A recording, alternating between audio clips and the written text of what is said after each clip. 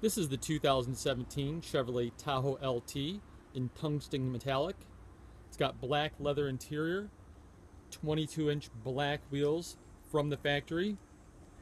On the interior, it's equipped with leather, sunroof, and it's got a rear entertainment system. The vehicle also has the black Chevy bow tie. Really nice touch. The vehicle is located at Boucher Chevrolet in Waukesha, Wisconsin on Blue Mountain Road. And my name is Chris, last name is Rano. And my phone number is 262 349 2770. That's 262 349 2770. And again, you just saw the 2017 Chevrolet Tahoe LT.